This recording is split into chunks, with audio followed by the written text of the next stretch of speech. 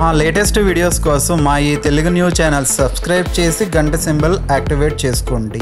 సమాజంలో ప్రతి ఒక్కరికి డబ్బు కావాలి అంటే లక్ష్మీదేవి అనుగ్రహం కావాలి. ఎందుకంటే ఆ తల్లి అనుగ్రహం ఉంటే మనకి సమాజంలో గౌరవ ప్రతిష్టలు ఉంటాయి. లేదంటే ఎవరూ పట్టించుకోరు. అప్పటిదాకా మనతో ఉన్నవారు కూడా డబ్బు లేకపోయేసరికి మనం ఎవరో కూడా తెలియనట్టు ప్రవర్తిస్తారు. ఖర్చులకు అవసరాలకు డబ్బులు లేక ఇంట్లో కూడా సమస్యలు మనస్పర్ధలు ఎదురవుతాయి. దీంతో ఇంట్లో అలాగే సమాజంలో మనశ్శాంతి లేక బాధలను ఎవరికీ చెప్పుకోలేక సతమతమవుతూ ఉంటారు. ఆ లక్ష్మీదేవి అనుగ్రహం ఎలా పొందాలో తెలియక దిక్కుతోచని స్థితుల్లో ఉంటారు. అటువంటి వారు సంవత్సరానికి ఒక్కసారి వచ్చే ధనత్రయోదశి నాడు ఇప్పుడు చెప్పే పరిష్కారాన్ని పాటించి మీ సమస్యలను కష్టాలను తొలగించుకోవచ్చని పండితులు చెప్తున్నారు. మరి అది ఎలానో ఇప్పుడు తెలుసుకుందాం. లక్ష్మీదేవి మన ఇంట్లోకి రావాలి అంటే ముందుగా మన ఇంటికి లక్ష్మీ కళ రావాలి. అలా రావాలి అంటే ముందుగా ఇంటిని శుభ్రంగా ఉంచుకోవాలి. మన ఇంటి సింహద్వారాన్ని లక్ష్మీ స్థానంగా చెప్తారు. ఎందుకంటే లక్ష్మీదేవి మన ఇంట్లోకి సింహద్వారం నుంచే ప్రవేశిస్తుంది.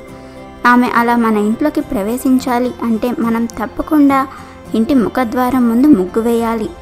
ముగ్గులంటే లక్ష్మీదేవికి చాలా ఇష్టం. అందుకే ఏ ఇంటి ముందైతే ముగ్గు వేసి ఉంటుందో వారి ఇంట్లోకి లక్ష్మీదేవి వస్తుందని పండితులు చెప్తున్నారు. గడపకు పసుపు రాసి కుంకుమ బొట్లు పెట్టేవారంటే లక్ష్మీదేవికి చాలా ఇష్టం.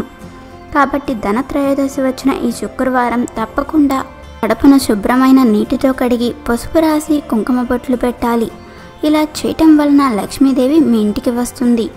అయితే ఈ ధనత్రయోదశి రోజున తప్పకుండా మీ పూజా మందిరం ముందు అలాగే తులసి కోట ముందు ఇంటి ముందు కుబేర ముగ్గు వేసి దానిని పసుపు కుంకుమలతో అలంకరించి ఆ ముగ్గుని లక్ష్మీదేవి స్వరూపంగా భావించి ఎట్టి పరిస్థితుల్లోనూ దానిని తొక్కకూడదు. ఇలా చేయటం వలన ఆ ఇంటిని లక్ష్మీదేవి అనుగ్రహించి వారికున్న కష్టాలను తొలగించి ఐశ్వర్యవంతుల్ని చేస్తుంది అని పండితులు చెప్తున్నారు. కనుక మీరు కూడా ఈ ధనత్రయోదశి వచ్చిన ఈ శుక్రవారం మీ ఇంటి ముందు ఈ ముగ్గును వేసి దీపావళి కంటే ముందుగానే లక్ష్మీదేవిని మీ ఇంటికి ఆహ్వానించి ఆమె కరుణా కటాక్షాలతో సకల సుఖాలతో ఆనందంగా జీవించండి. వీడియో నచ్చితే లైక్ చేయండి షేర్ చేయండి. బట్ సబ్స్క్రైబ్ చేసుకోవడం మర్చిపోవద్దు.